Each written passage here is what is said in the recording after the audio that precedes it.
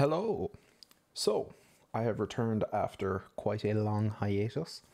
Um, I uh, am back now, as you can see, and I'm going to be starting a new series, which is where I'm going to go through loads of different devices in Bitwig, and I'm going to show you all of the different parts of what they do, and I'm also going to show you some cool tips and tricks and sound design techniques that you can do with them. So it's going to be fantastic.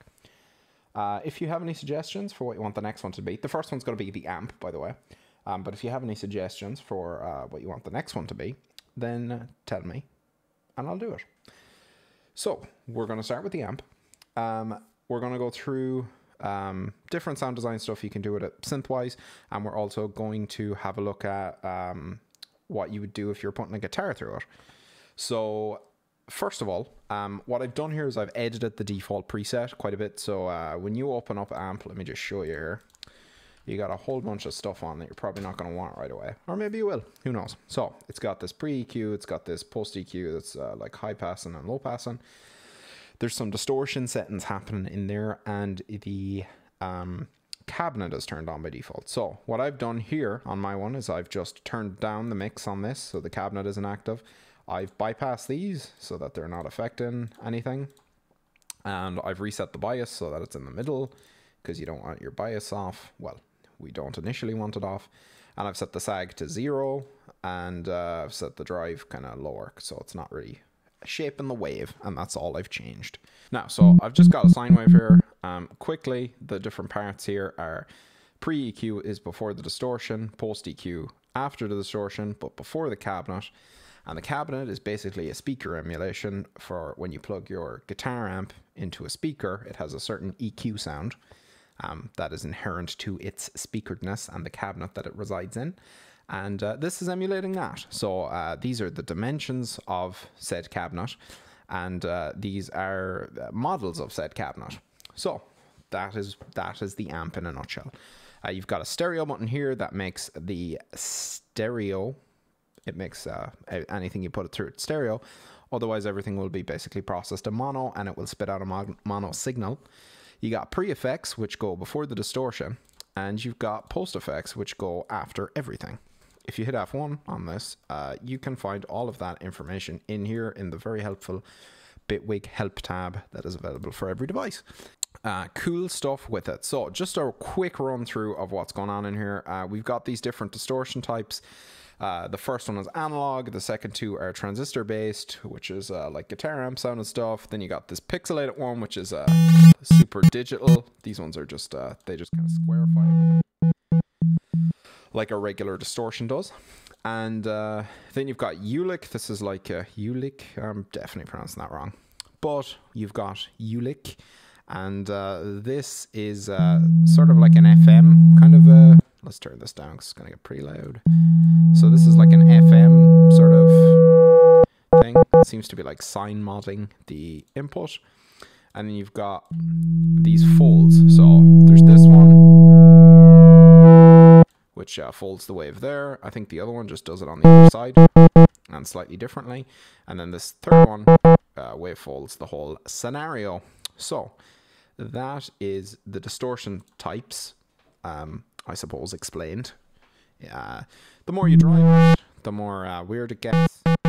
And um, so these other two things, what does this do? What's this crack? Okay, so does different things on different distortions. So it will bias the distortion. So for instance, on smooth, it's basically going to move where the zero crossing is. Um, on say pixelated uh,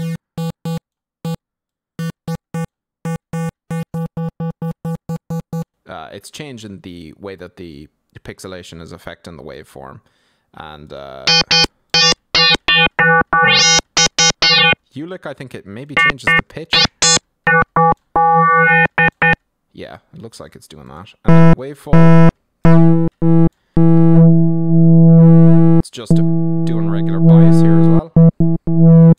I'm pretty sure that's the same for all of them. The sag control, um, so this is emulating the natural compression of uh, a tube amp. So if you've got a guitar and you're putting it through a tube amp, basically you're going to hit a chord real fast and then the tubes are going to be like, Oh, I didn't see the first part of that. I wasn't quick enough to catch it, so that part just comes through real loud, and then the rest gets compressed by the tubes and is quieter, and that has the effect of um, basically making it um, making the attack of the of the note more attacky. Here, let me explain because my English isn't working. So you can see here we're getting this big old bump right here before it, the compression comes and goes. Nope, that's gonna be that's gonna be less. So you can do that to add attack to things that you're putting through the amp, which is cool. So um, that is essentially it. Then you can um, edit uh, the tone. Now this isn't going to make a big difference because we're using a sine wave. So let's use something that has some harmonics that we can mess with. So this is basically just a distortion device when you've got the cabinets turned off. So let's just let's bass it up a bit. So if you affect the if you affect the um, signal before the distortion, if you change the EQ of it, it's going to have a pretty dramatic effect on how the distortion sounds. So let's go to like here. You got that kind of squelchiness going on. There's a fold here. So there's sort of a massive amount of uh, variation.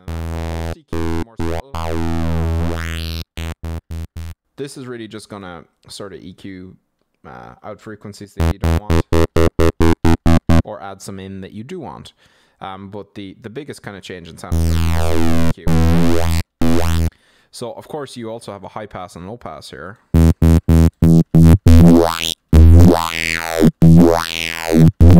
You can hear that it makes a big difference um, the way that you EQ it before it hits the distortion. Uh, the next thing that we're going to have a look at. So next thing you've got is the cabinet. So let's engage this. And this is kind of acting as an EQ. So uh, this is uh, basically modeling a speaker. So these different models sounds pretty significantly different. different.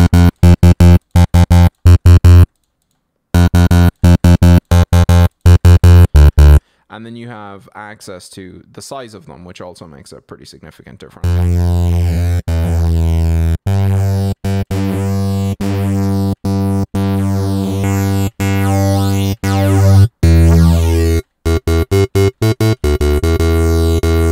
So you can see that you can uh, change the sound quite a lot between all three. So let's say you were to, you know, add in a filter here. Let's uh, pull this up.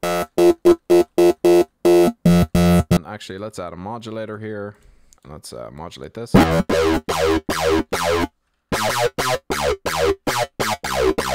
You can also modulate, uh, for instance, the size of your. Um, you can also modulate the size of your cabinet. So yeah, you've got like a lot of different stuff you can do. Then you can obviously modulate.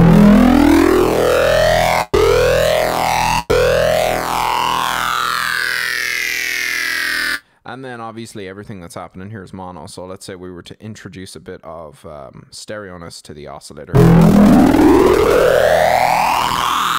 Right, you can hear that it's all coming through mono. So to get it to come through stereo, we need to hit this stereo button over here.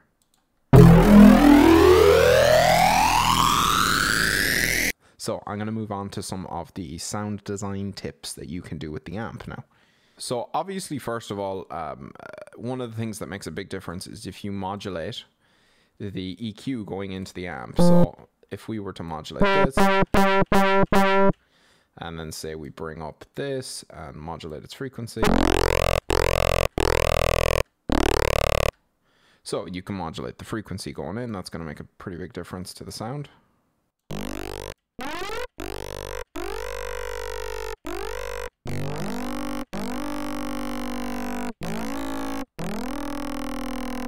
Now, the other thing you can do is you can, as I said, you can modulate the cabinet here. So let's bring that mix in there.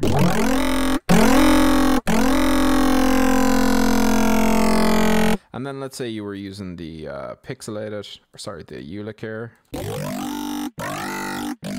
So you can kind of um, kind of get an FM sort of effect on that signal.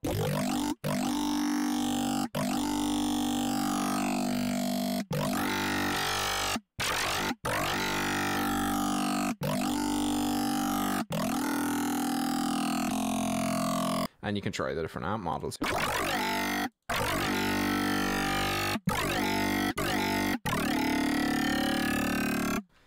Uh, let's see what it's like with.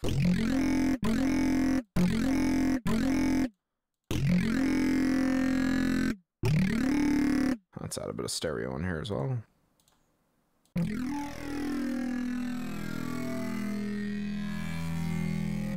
Okay, so um, that's uh, okay. So that's uh, sort of an extreme example of stuff that you could um, do with the amp, I suppose. Uh, the other thing that you can do that's uh, slightly less obvious is if we uh, let's just take out all of these EQs here, and let's um, set this back to being sort of just a mono ordeal over here. So let's actually take the drive mostly off. And let's take this off. So we can just go back to a regular saw wave. So another thing that we can do here is we can um, basically use this cabinet section and put this into another distortion. So let's get another amp. All right, let's just duplicate this one. I'm gonna take it off here. So now what I'm gonna do is I'm gonna distort pretty heavily on this one, and then I'm going to uh, turn up the color here, and you can see when you're putting this cabinet through a distortion, it uh, kind of accentuates the effect of it. So you'll hear what I mean.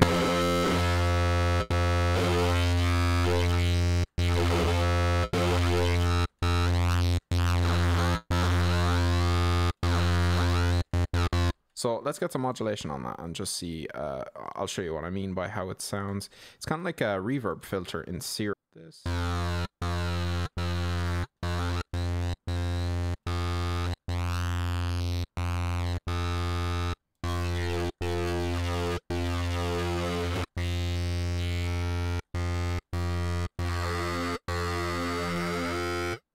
Let's turn the stereo off on this as well.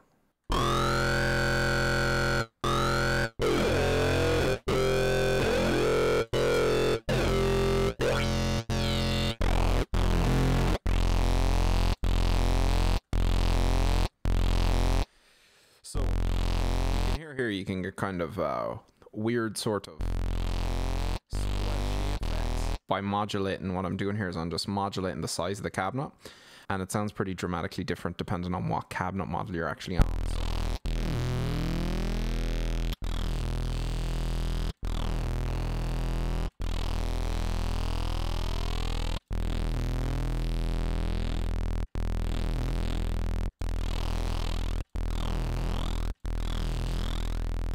So yeah, there's some there's some fairly mad sounds in there to be had all right. Also, if you stack a load of these on top of each other, these um these like cabinet modulation things, let's just duplicate that a lot. Gets weird. Okay, that got a bit too weird. Let's just do it twice. okay. Okay, let's so let's duplicate that again. And then let's like slightly change the values on this second one.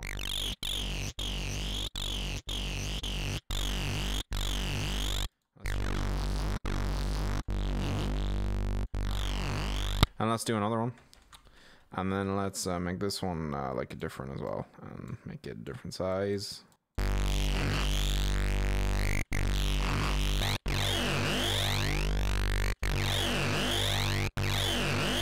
Yeah, and then let's, uh, obviously you get the idea, but let's do it again for fun. Uh, let's make this one. And then let's um uh, let's add some stereoness to the oscillator.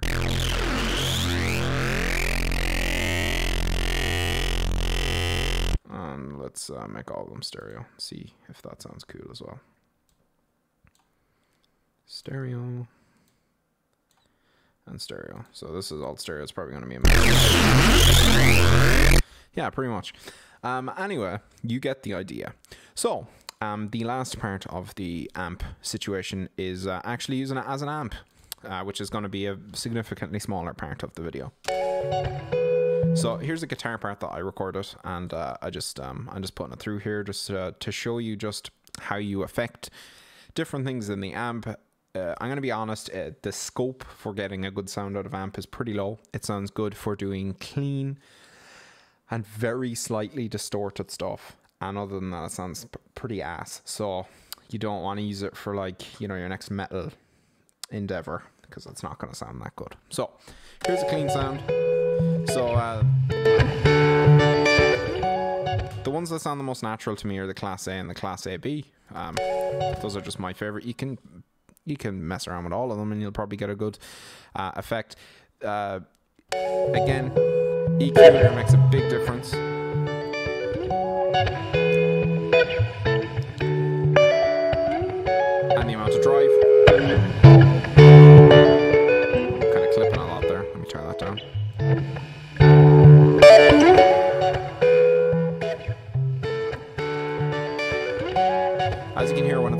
When it starts to break up, it doesn't really sound supernatural. Uh, and then the the cabinet makes a pretty big difference as well. So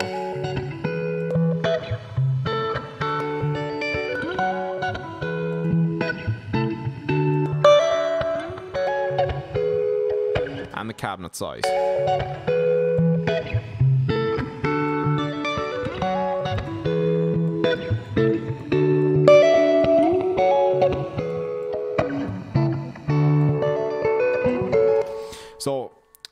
It's hard for me to show you exactly like how you would make a good sound with it. Um, the the primary things you want to worry about is the pre EQ. It tends to get really um, sort of muddy, so generally you're going to have to pull out a lot of this area to make it sound good. You don't want to drive it too hard, so you're looking at clean sounds really. And uh, generally, if you put a compressor uh, in the pre effects here, um, it's going to just sound more even and uh, it seems to have less problems where it gets kind of muddy in the middle. Um, I wouldn't put the drive too much higher than this. It starts to really sound very digital. And um, again, the cabinet is going to depend on sort of what uh, what guitar you're using and stuff like that. But there is a pretty significant difference between all these. And then if it's say to a bright series and a Tele, and it's got like really cheap bright pickups, and you got like kind of sound like that happening, you can pull down this color, of mellow it out a bit.